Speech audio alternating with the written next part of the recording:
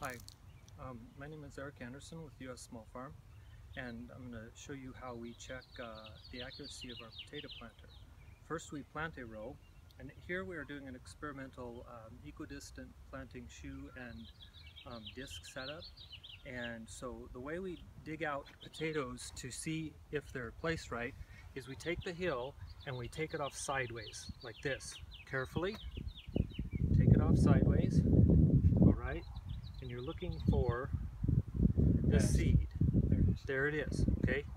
Um, that will if you as long as you sweep it off like this oh there I found that one a little bit sooner. Uh, we got that one. Now as we look at this what we were trying to get here is about 11 inches apart here side to side. And so you can see seed seed seed seed seed seed seed seed seed.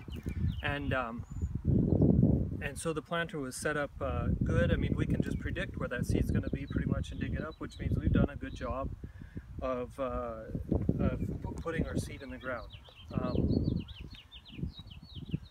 so that's how we check the, uh, the accuracy and seed placement.